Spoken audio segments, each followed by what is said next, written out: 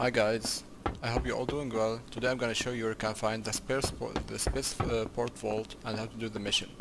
You either spawn from here at the spaceport, or from here, or um, to the back side, there, or downstairs here, or there, probably there also.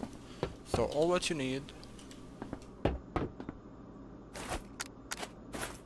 um, all what you need um, just like head off to the marked uh, either upstairs or downstairs I recommend upstairs. You can go to the right or the left side it's no matter.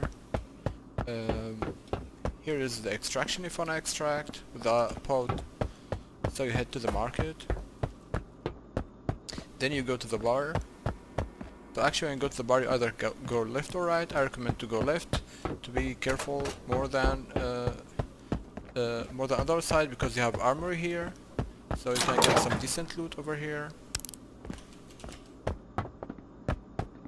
I hear something one sec.